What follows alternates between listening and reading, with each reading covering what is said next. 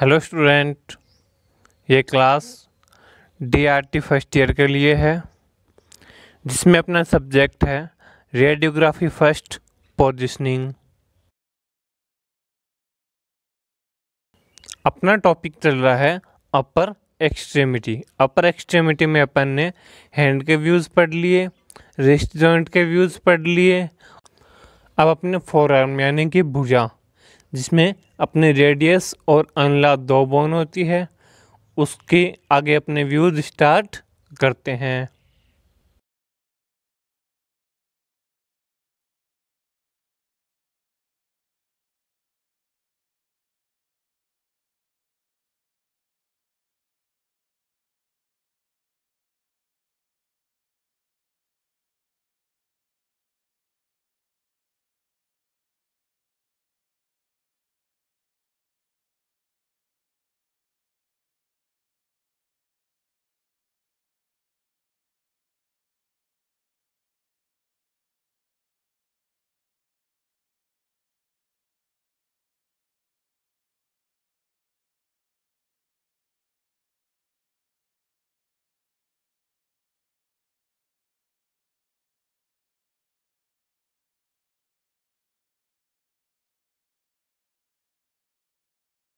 यहाँ अपने बात करते हैं फोर आर्म की।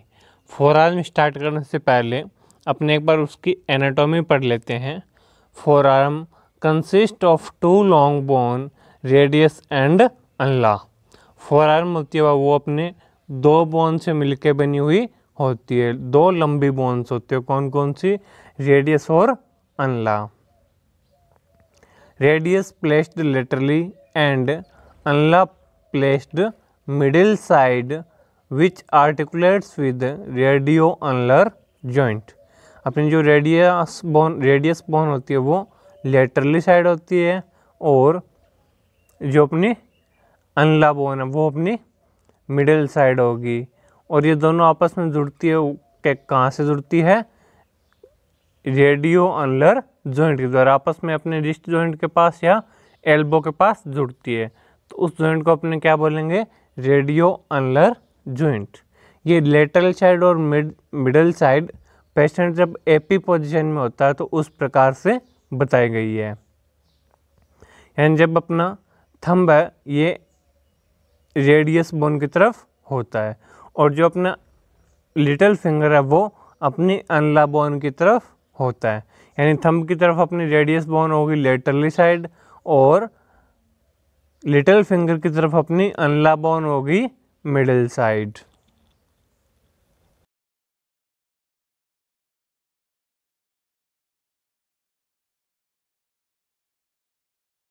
यहाँ आपने अब फोर आर्म के अपने व्यूज़ स्टार्ट करते हैं तो फोर आर्म का सबसे पहला अपना व्यू आता है एपी व्यू सबसे पहले बात करते हैं इसके इंडिकेशन की। तो इंडिकेशन क्या होगा? To see the fracture and pathological condition. इस बोन में कोई भी फ्रैक्चर हो गया है या कोई पैथोलॉजिकल कंडीशन है, उसको चेक करने के लिए उस कंडीशन में अपने एपीव्यू किया जाता है। कैसेट साइज़ की बात करें तो कैसेट साइज़ इसमें अपना रहेगा दस बारह या बारह पंद्रह का।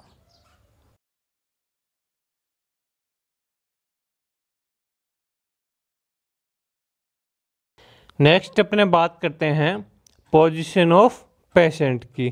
पेशेंट की पोजीशन इसमें क्या रहेगी? देखो the patient is seated near the x-ray table with the forearm resting on the film patient क्या है अपना? एक्सरे टेबल के पास बैठेगा और अपनी जो फोर आर्म है उसको एक्सरे टेबल पर रखेगा। जहाँ अपनी कैसेट रखी हुई है, उसके ऊपर रखेगा। The elbow is fully extended and forearm is placed on the cassette in supine position. जो अपनी एल्बो उसको अपने फुली एक्सटेंड करेंगे, बिल्कुल सीधा करेंगे और फोर आर्म को अपने जो कैसेट टेबल पर रखी हुई है, उसके ऊपर सुपाइन पोजिशन में, यानी कि एपी पोजिशन में रखेंगे both elbow and wrist joint should be included on the film अपनी फ़िल्म है, उसमें अपने दोनों जॉइंट्स कौन कौन से? रिस्ट जॉइंट और एल्बो जॉइंट्स फ़िल्म में इंक्लूड होने चाहिए। या आपने जब फोराम का व्यू ले रहे हैं तो अपना रिस्ट जॉइंट तो कंफर्म आना ही चाहिए या फिर एल्बो जॉइंट आना चाहिए। जिससे अपने को पता लग जाए कि ये अपर पार्ट है और ये लोअर पार्ट है। जिस प्रकार से मैंने आपको बताया था जब अपने लेग का व्यू करते हैं। ह्यूमर्स का या टीबिया और फिबुला का। तो उस टाइम अपने साथ में क्या है? एक जॉइंट को इंक्लूडेड करते हैं ताकि अपने को पता लग जाए कि इसका अपर पार्ट बोन का कौन सा है और लोअर पार्ट कौन सा है। यानी पेशेंट अपने पास आया। पेशेंट को हैंड को फुली एक्सटेंड किया एल्बो को और अपने हाथ को सुपाइन पोजीशन में टेबल पर रखेंगे, जिसमें अपने जो फ़िल्म लगाते हैं, उसके अंदर एल्बो जॉइंट हो या रिस्ट जॉइंट या फिर दोनों इंक्लूड होने चाहिए।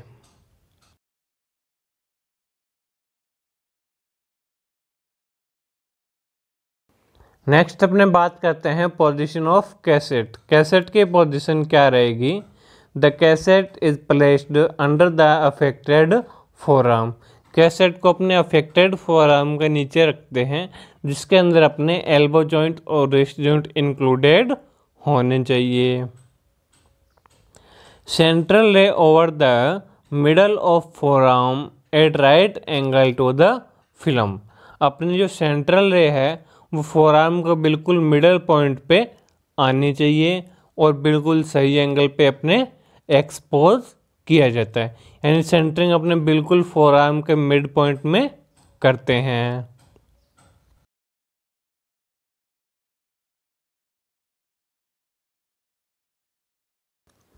ये देखो, इस इमेज में अपने को दिखा रखा है कि पेशेंट एक्स टेबल के पास बैठा हुआ है। उसके एल्बो को फुली एक्सटेंड करके और उसकी फोराम को कैसेट पे सुपाइन पोजीशन में रखा हुआ है। उसके बाद अपने ये देखते हैं कि अपने रिस्ट जॉइंट और एल्बो जॉइंट फ़िल्म में इंक्लूडेड होने चाहिए। सेंटरिंग की बात करें तो देखो सेंटरिंग बिल्कुल रेडियस और अनला के मिड पॉइंट में, यानी कि फोर आर्म के मिड पॉइंट में की हुई है। यानी सेंटरिंग बिल्कुल मिड पॉइंट में हो जाएगी और फ़िल्म में अपने रिस्ट जॉइंट और एल्बो जॉइंट इंक्लूडेड होने चाहिए। इस प्रकार से अपने पेशेंट की पोजीशन लगाई जाती है।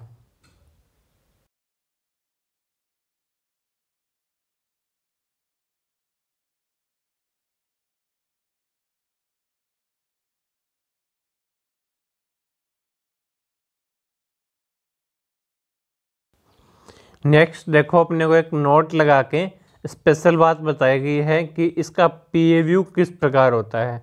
अपने कंफर्टेबल पोजीशन कौन सी रहती है? फोर आर्म की ए पी पोजिशन अगर पी ए पोजिशन करनी पड़े कि अपने उस कंडीशन में जब ए पी पोजिशन नहीं हो पा रही है तो उस कंडीशन में अपने पी ए पोजिशन भी की जाती है। देखो क्या कह रहे हैं।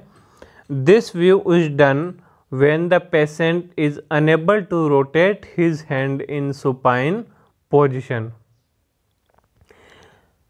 ये व्यू तब किया जाता है, तब पेशेंट अपने हाथ को सुपाइन पोजीशन से रोटेट करने में अनेबल है, यानी सुपाइन पोजीशन में रोटेट करने में अनेबल है। The patient hand and forearm in pronation तब अब पेशेंट के हाथ को क्या है? प्रोनेशन में रखा जाता है और व्यू लिया जाता है। यानी बाई चांस किसी के हैंड में फ्रैक्चर आ गया, उसके प्लास्टर किया हुआ है।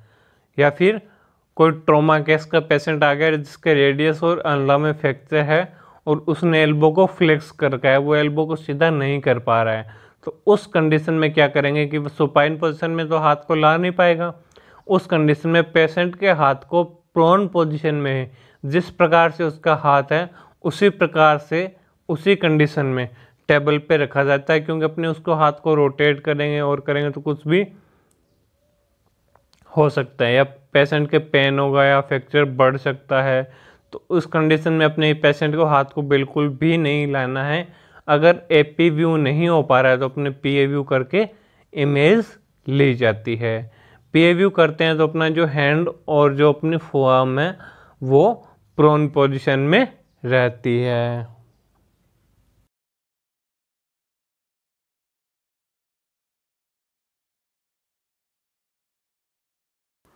उसके बाद अपने बात करते हैं रेडियोलॉजिकल अपेरेंस की। रेडियोलॉजिकल अपेरेंस इसमें क्या रहेगा? The radius ulna parallel to the each other in AP position जो अपनी रेडियस और अनला है, वो एपी पोजीशन में बिल्कुल पैरेलल रहती है, यानी कि समांतर रहती है। Radius crossed ulna in P A position जो रेडियस होती है वो रेडियस और अनला आपस में क्या करती है? क्रॉस करती है। कौन सी पोजीशन में? पी ए पोजिशन में। एंड पी ए पोजिशन में रेडियस और अनला एल्बो जॉइंट के पास से हल्की सी एक दूसरे को क्रॉस करेगी और एपी पोजिशन में अपने को दोनों बिल्कुल स्ट्रेट क्लियरली सेपरेट दिखाई देती है। The carpal bones are well seen और अपने को कार्पल्स बोन भी क्लियरली सीन हो जाती है।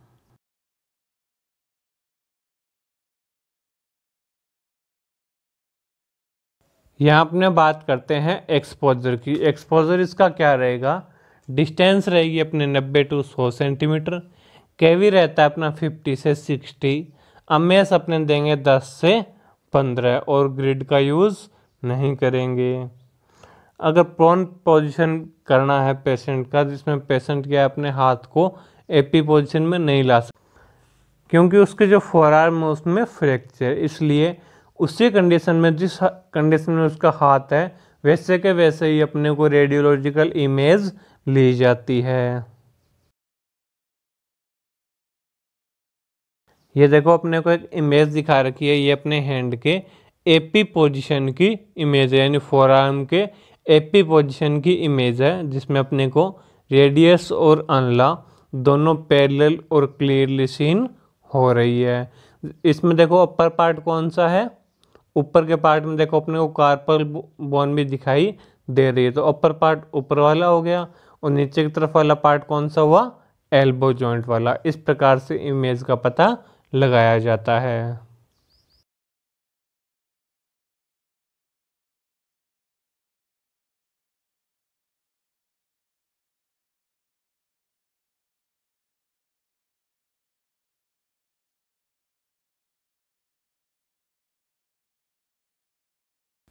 अगर पेशेंट का हैंड नॉर्मल है और अपने को अपने फोरार्म का प्रोन पोजीशन में इमेज लेनी है, यानी पी ए व्यू करना है तो अपने क्या करते हैं? पेशेंट के एल्बो को फ्लेक्स करवाते हैं और हैंड को प्रोन पोजीशन में, यानी अपने फोरार्म को प्रोन पोजीशन में कैसेट पर रखा जाता है और सेंटरिंग वही बिल्कुल फोरार्म के मिड पॉइंट में की जाएगी।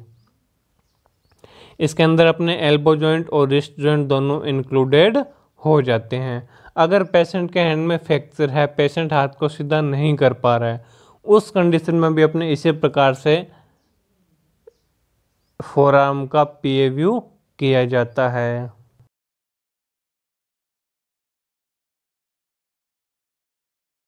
यहाँ अपने को एक रेडियोलॉजिकल इमेज दिखा रखी है। इसमें देखो साफ़ साफ़ पता चल रहा है कि अपने एल्बो को फ्लेक्स किया हुआ है, उसके बाद हैंड को प्रोन पोजिशन में रख के व्यू लिया हुआ है।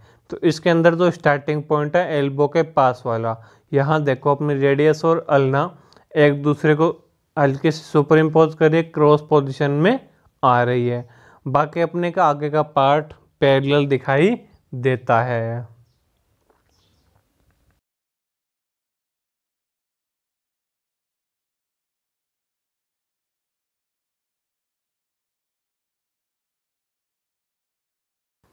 उसके बाद अपने बात करते हैं फोराम के लेटरल व्यू की। फोराम के लेटरल व्यू की इंडिकेशन क्या रहेगी? To see the fracture and pathological condition अपने रेडियस बोन में कोई भी फ्रैक्चर हो गया है या कोई पैथोलॉजिकल कंडीशन हो गई है, उस आर में अपने फोराम का व्यू किया जाता है। कैसेट साइज़ इसमें वही रहेगा अपना दस, बारह और बारह, पंद्रह का, जिसमें अपनी फोराम वो आसानी से रिस्ट जॉइंट और एल्बो जॉइंट के साथ पूरी इंक्लूडेड हो जाती है।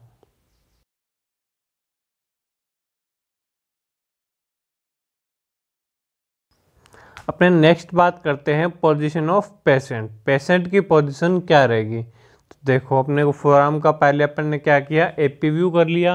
अब अपने को लेटरल व्यू करना है। तो लेटरल व्यू में पोजीशन कैसे रखेंगे?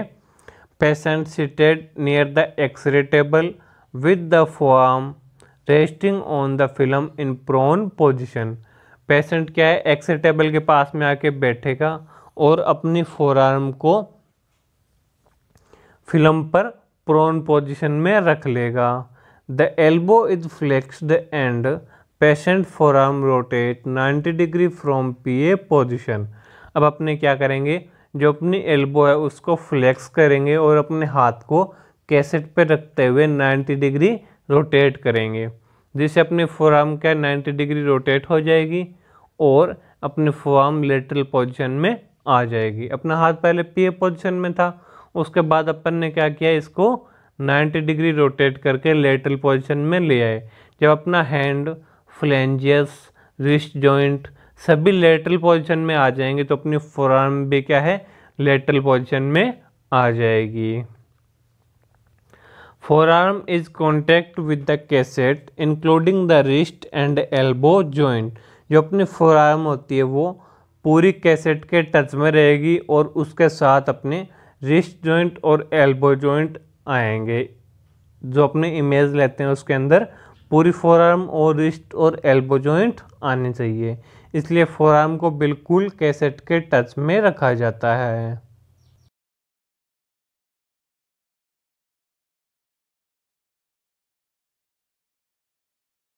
नेक्स्ट अपने बात करते हैं पोजीशन ऑफ़ कैसेट कैसेट की पोजीशन इसमें क्या रहेगी? कैसेट की पोजीशन वही सेम रहेगी. The cassette is placed under the affected forearm cassette को अपने अफेक्टेड फोराम के नीचे रखेंगे, जिसके अंदर अपने फोरारम रिस्ट जॉइंट और एल्बो जॉइंट क्लियरली आने चाहिए। सेंटरिंग की बात करें तो देखो central ray over the middle of forearm at right angle to the film centering अपनी कहाँ की जाएगी? जो अपनी फोर आर्म है, उसके बिल्कुल मिड पॉइंट में अपनी सेंटरिंग की जाती है।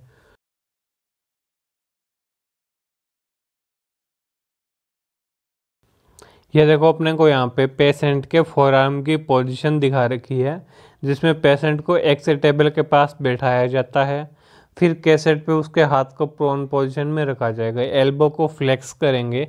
और हाथ को अपने 90 डिग्री पे ले आएँगे। यानी प्रोन पोजीशन में है तो प्रोन पोजीशन से 90 डिग्री रोटेट कर हाथ को लेटरल पोजीशन में ले आएँगे। जब अपना हैंड लेटरल पोजीशन में आ जाएगा तो अपनी फोर भी क्या है? लेटरल पोजीशन में आ जाती है। उसके बाद सेंटरिंग की बात करें तो देखो सेंटरिंग बिल्कुल अपनी फोर के मिड पॉइंट में की हुई है।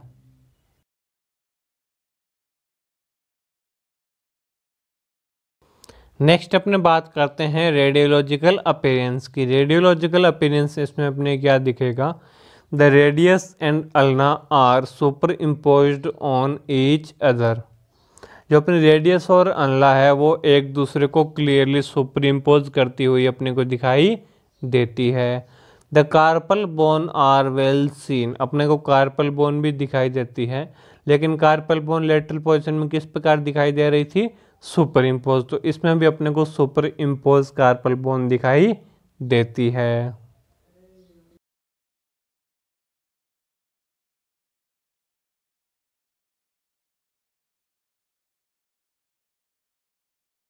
नेक्स्ट अपने बात करते हैं एक्सपोजर की। एक्सपोजर इसमें क्या रहेगा? डिस्टेंस रहेगी अपनी 90 टू 100 सेंटीमीटर। केवी रहता है अपना 55 से 60 अमेस अपने रखेंगे 10 से पंद्रह और ग्रिड का यूज़ नहीं करेंगे। क्योंकि ग्रिड का यूज़ अपने तब करते हैं जब बहुत ज़्यादा एक्सपोजर देते हैं और फैटी पार्ट होता है।